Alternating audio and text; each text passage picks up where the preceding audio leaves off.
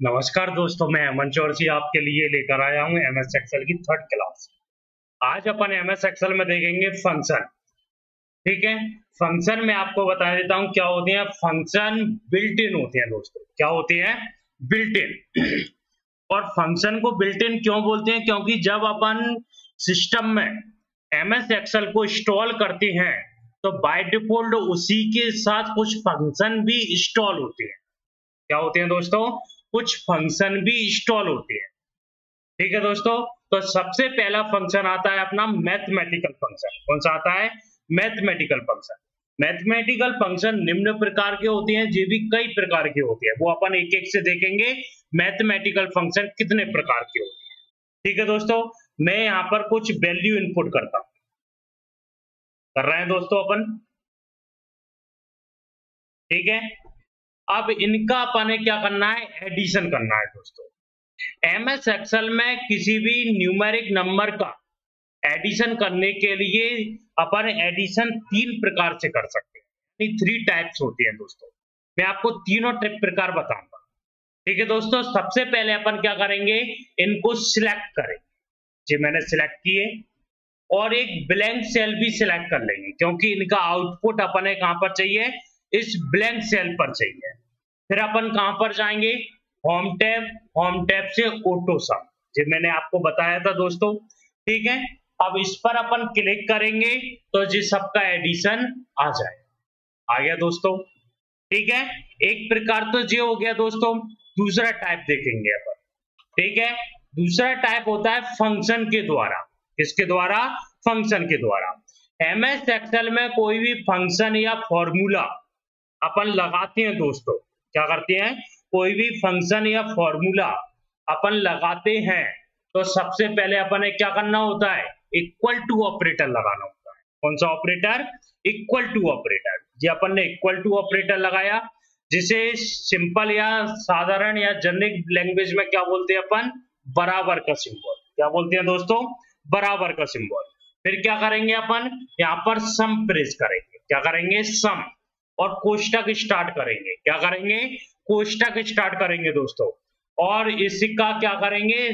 Select करेंगे। Select करेंगे तो इसकी क्या आ जाएगी? सेल रेंज आ जाएगी। सेल रेंज क्या आ गई? ए वन से ए फाइव तक। क्या करना है अपन? है जोड़ना है। क्यों जोड़ना है? क्योंकि अपन ने क्या लिख रखा है? सम लिख रखा है। तो अपन ने क्या करना है?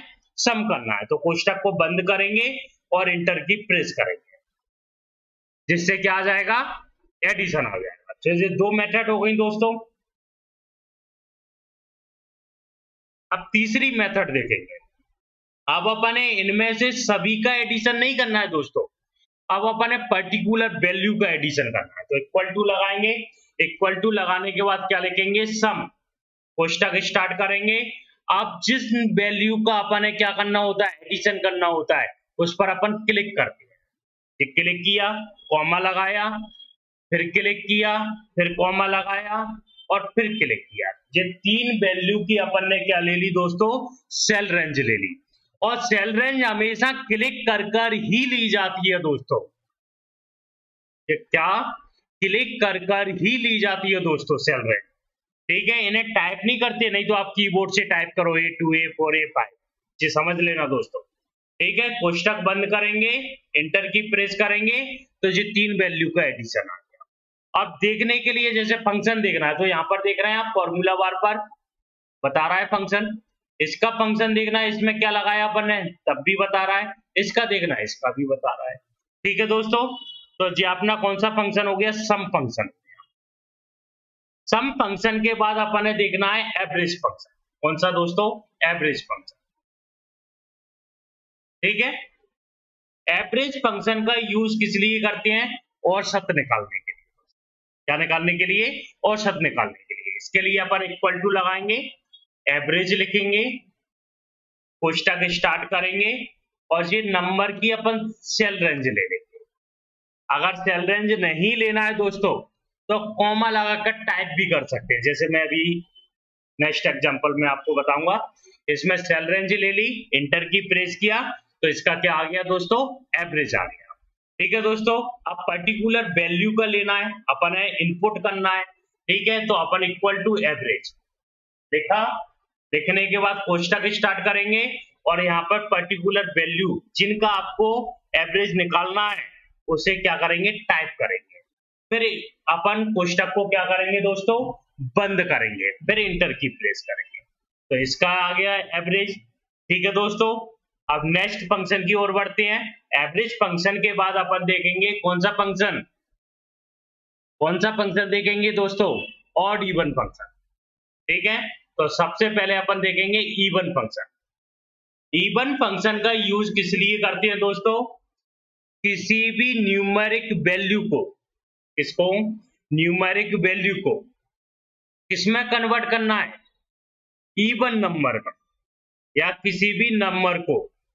इवन नंबर में कन्वर्ट करने के लिए कौन से फ़ंक्शन का यूज़ करते हैं? इवन फ़ंक्शन का यूज़ करते हैं। तो इक्वल टू लगाएँगे, यहाँ पर लिखेंगे इवन कोष्टक स्टार्ट करेंगे, यहाँ पर कोई ऑड संख्या देंगे। जैसे अपन ने 15 दी तो 15 क्या है? एक और संख्या है। क्यों है और इवन वैल्यू कौन सी होती है जो टू से डिवाइड हो जाती है?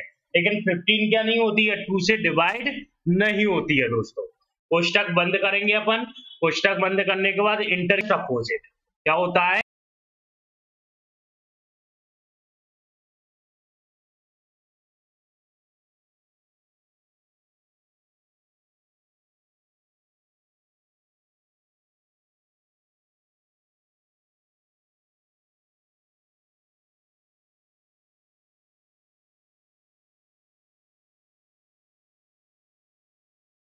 ई वन का जस्ट अपोजिट कौन सा होता है?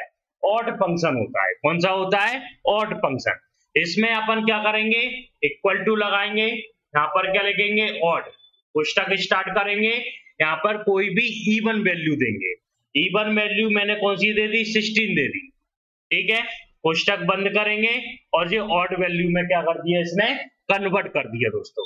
ठीक है? अब इसकी सेल रेंज लेकर देख लेते हैं। इक्वल टू ऑड कोष्टक स्टार्ट करेंगे और इसकी सेल रेंज लेनी इसकी 16 की। ठीक है? और कोष्टक बंद करेंगे तो फिर भी क्या आ रहा है? ऑड नंबर में कन्वर्ट कर दिया। अब अपन कोई ऑड वैल्यू डालेंगे इसमें। ठीक है? तो ये थ्री क्या है? कोई ऑड वैल्यू है टू से डिवाइड नहीं होती है। ठीक है? इंटर की प्रेस करेंगे तो थ्री ही रहेगा दोस्तों। ठीक है दोस्तों? अपन नेक्स्ट फ़ंक्शन की ओर बढ़ते हैं। नेक्स्ट आता है फैक्ट फ़ंक्शन कौन सा आता है? फैक्ट फ़ंक्शन फैक्ट फ़ंक्शन का यूज़ किस लिए करते हैं? किसी भी न्यूमेरिक वैल्यू का या किसी भी नंबर का फैक्टोरियल मान याद करने के लिए किसका यूज़ करते हैं? फैक्ट फ़ंक्शन का यूज़ करते हैं। जैसे अपन क्या लिखेंगे? इक्वल टू फैक्ट ठीक है? अब अपन ने किसका फैक्ट निकालना है? फाइव का। ठीक है? पुस्तक बंद करेंगे इंटर की प्रेस करेंगे। तो कितना आ गया? 120 अब ये 120 आया कैसे? निकालते कैसे है? ठीक है? तो निकालते कैसे हैं? इस तरह से। देखो इक्वल टू लगाया अपन, ठीक है? Five into four into three into two into one ठीक है? अपन ऐसे इंटू करेंगे, तब भी क्या आएगा? 120 आएगा दोस्तों। देखो, आ गया? ठीक है? तो इस तरह से अपन फैक्टोरियल निकालते हैं दोस्तों, किसी भी नंबर का। ठीक है? नेक्स्ट फ़ंक्शन की ओर बढ़ते हैं अपन। अब अपन देखेंगे mod function M O D mod function का यूज़ किस लिए करते हैं? किसी भी नंबर को. किसको दोस्तों? किसी भी नंबर को डिवीजर से डिवाइड करके जो शेष पल यानी जो रिमाइंडर यानी जो शेष पल बचता है, उसे रिटर्न करने के लिए रिमाइंडर को रिटर्न करने के लिए मोड फ़ंक्शन का यूज़ करते हैं. ठीक है दोस्तों? अब इसमें अपन इक्वल टू लगाएँगे। अपन ने लिखा थ्री कॉमा टू पहले मोड तो लगाए दोस्तों। मोड ठीक है? थ्री कॉमा टू और कोष्टक को बंद करेंगे ठीक है? और इसका शेषफल कितना आ जाएगा? वन आ जाएगा। कितना आ जाएगा? वन ठीक है दोस्तों? नेक्स्ट फ़ंक्शन की ओर बढ़ते हैं। नेक्स्ट फ़ंक्शन आता है अपना इंट फ़ंक्शन कौन सा आता है? इंट इंट की फुल फॉर्म होती है इंटीजर क्या होती है दोस्तों? इंटीजर और इंटीजर को हिंदी में बोलते हैं पूर्णांक. क्या बोलते हैं? पूर्णांक. और इंट फ़ंक्शन की डेफिनेशन होती है किसी भी नंबर को. या किसी भी नंबर को. ठीक है? नंबर को अपन क्या करना है? किस तरह से डिवाइड करना है कि जो उसकी सबसे छोटी वैल्यू है, उसे रिटर्न करता है। क्या करता है? छोटी वैल्यू कहने का मतलब ये है इंट फ़ंक्शन का यूज़ किस लिए करते हैं? अपने से छोटी। डेफिनेशन सुनना दोस्तों अच्छे से। अपने से छोटी निकटतम पूर्णांक संख्या में कन्वर्ट करने के लिए इंट फ़ंक्शन का यूज़ करते हैं। ठीक है दोस्तों? अब देखें अपन। यहाँ पर लगाए इक्वल टू बिना इक्वल टू के कुछ नहीं होगा। ठीक है? इंट ठीक है? कोष्टक स्टार्ट किया अपन ने। यहाँ पर लिख दिया 4.5 ठीक है? इसकी डेफिनेशन मैंने क्या बताई? अपने से छोटी, निकटतम, पूर्णांक संख्या में कन्वर्ट करने, यानी दशमलव में नहीं होना चाहिए दोस्तों। मैंने क्या दिया? 4.5 4.5 से छोटी होनी चाहिए और निकटतम होनी चाहिए, दूर की नहीं होनी चाहिए, और पूर्ण संख्या होनी चाहिए। ठीक है? पूर्ण संख्या का मतलब होता है इंटीजर नहीं होनी चाहिए, यानी डेसिमल नंबर में नहीं होनी चाहिए, यानी पॉइंट में नहीं होनी चाहिए दोस्तों। ठीक है? अब इंट फ़ंक्शन अब क्या आ गया? फोर ठीक है दोस्तों? नेक्स्ट आता है अपना पावर फ़ंक्शन कौन सा आता है? पावर फ़ंक्शन पावर भी निकाल सकते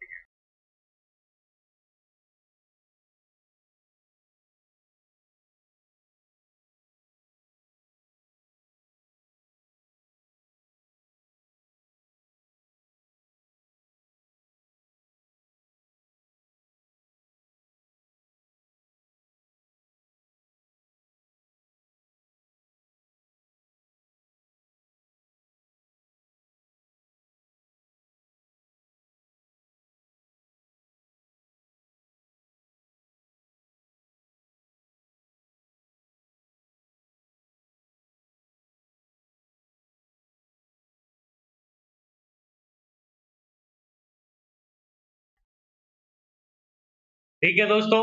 तो जी अपने क्या हो गए? अपने सम हो गया एवरेज हो गया इवन हो गया ऑड हो गया फैक्ट हो गया मोड हो गया इंट हो गया पावर हो गया। तो जी अपने कुछ फ़ंक्शन कंप्लीट हो गए। किसके? मैथमेटिकल ठीक है? किसके हो गए दोस्तों? मैथमेटिकल फ़ंक्शन अब नेक्स्ट अपन बढ़ते हैं आगे। ठीक है? कौन से फ़ंक्शन की ओर? स्टेटिकल फ़ंक्शन की कौन से? स्टेटिकल और स्टेटिकल में सबसे पहला फ़ंक्शन आता है मिन फ़ंक्शन कौन सा आता है? मिन फ़ंक्शन ठीक है? दी गई सेल रेंज या नंबर में से, किसमें से? दी गई सेल रेंज या नंबर में से, सबसे छोटे नंबर को फाइंड करके रिटर्न करने के लिए किस फ़ंक्शन का यूज़ करते हैं मिन फ़ंक्शन का। इसका यूज़ करते हैं? मिन फ़ंक्शन का। ठीक है? तो इसमें मैं पहले नंबर लिख लेता हूँ नंबर टाइप कर लें अपन। ठीक है? तो यहाँ पर मैंने क्या, कोई भी वैल्यू टाइप कर।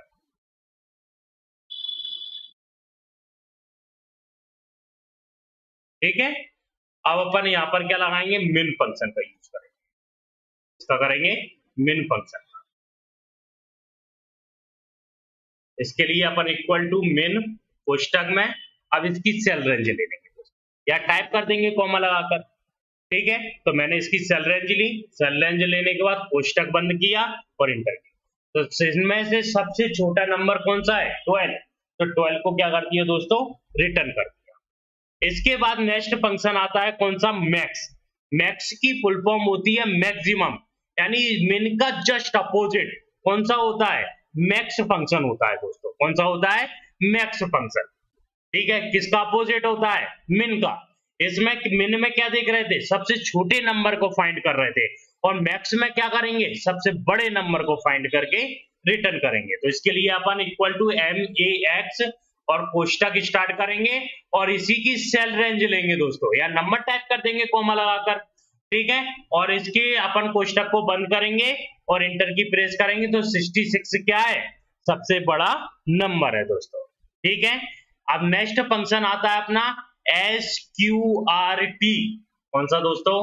S Q R T function ठीक है? इसका यूज़ करते हैं किसी भी नंबर का इसकी फुल फॉर्म होती है स्क्वायर रूट क्या होती है दोस्तों?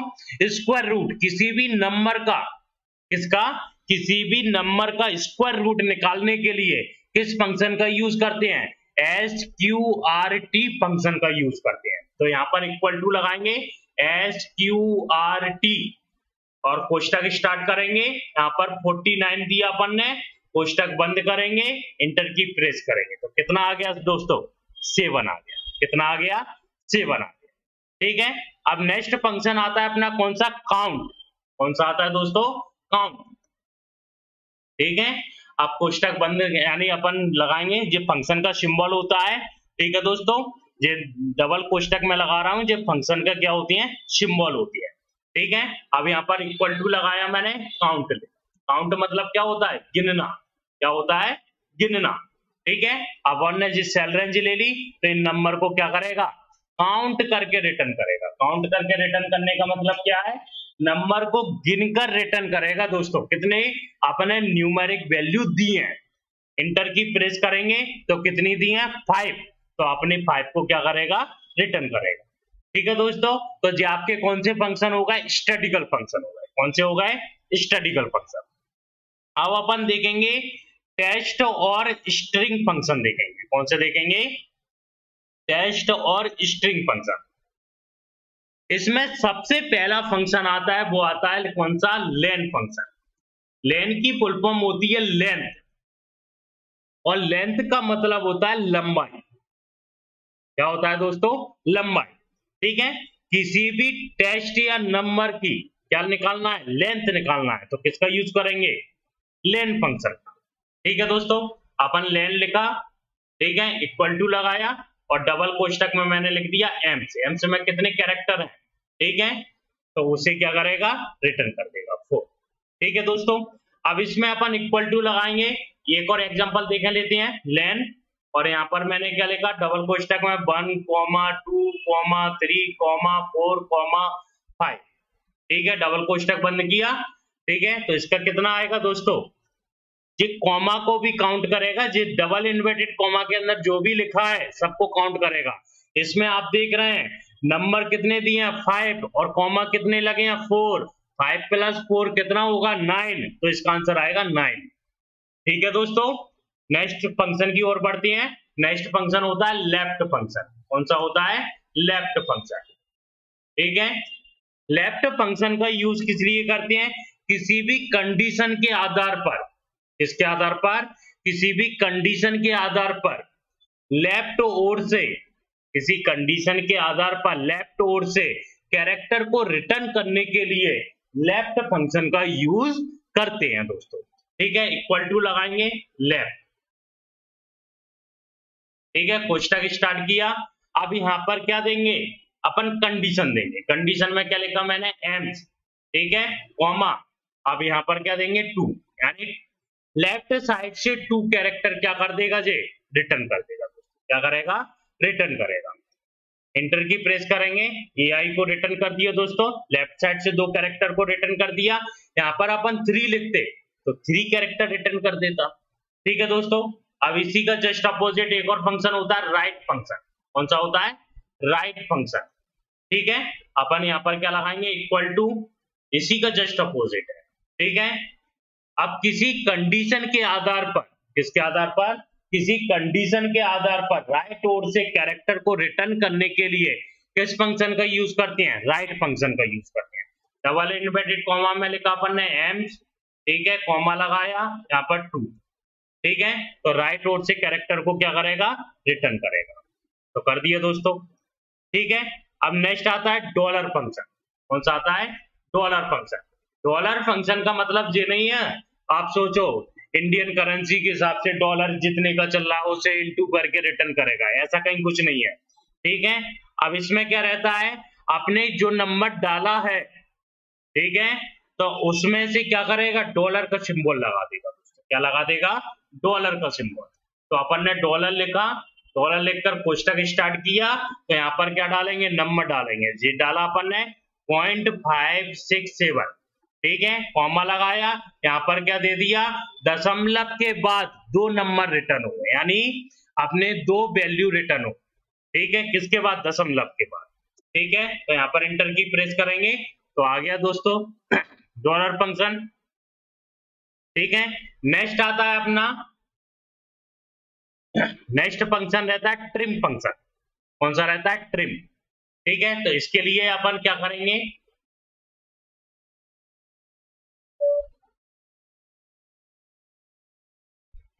ट्रिम फ़ंक्शन ठीक है? अब अपन इसके लिए क्या करेंगे? जैसे लिखा अपन ने ट्रिम ठीक है? अब अपन क्या करेंगे? कोष्टक स्टार्ट करेंगे इसमें लिखेंगे इसमें लिखा मैंने एम्स। अब यहाँ पर देखना दोस्तों, यहाँ पर मैंने काफ़ी स्पेस छोड़ दिया। तो ये अनावश्यक स्पेस बन गया। ठीक है, फिर क्या लिखा मैंने? कंप्यूटर लिख दिया। तो ये अनावश्यक स्पेस को क्या करता है? रिमूव करता है। और सिंगल स्पेस में क्या कर देगा कन्वर्ट करेगा। इंटर की प्रेस करेंगे तो साथ में कन्वर्ट कर दिया इसने। तो इसके लिए ट्रिम फ़ंक्शन का यूज़ करते हैं। ट्रिम फ़ंक्शन मतलब जो आपके टेक्स्ट या स्ट्रिंग में, ठीक है, जो अनावश्यक स्पेस दिया हुआ है, उसे रिमूव करता है। क्या करता है? उसे रिमूव करता है। एक और फ़ंक्शन आता है कॉर्डिनेटेड फ़ंक्शन तो जी क्या करेगा? टेस्ट स्ट्रिंग को जोड़ने का काम करता है। जैसे मैंने यहाँ पर लिखा एम्स यहाँ पर लिखा कंप्यूटर और यहाँ पर लिखा क्लासेस ठीक है? ये टेस्ट तीन टेस्ट स्ट्रिंग मैंने क्या कर ली? टाइप कर ली। ठीक है? अब अपन कौन से फ़ंक्शन का यूज़ करेंगे? कॉर्डिनेटेड ठीक है? ठीक है? अब यहाँ पर क्या लेंगे? सेल रेंज लेंगे। ठीक है? इसकी सेल रेंज ले ली, कॉमा लगाया, फिर इसकी सेल रेंज ले ली, फिर कॉमा लगाया, फिर इसकी सेल रेंज ले ली।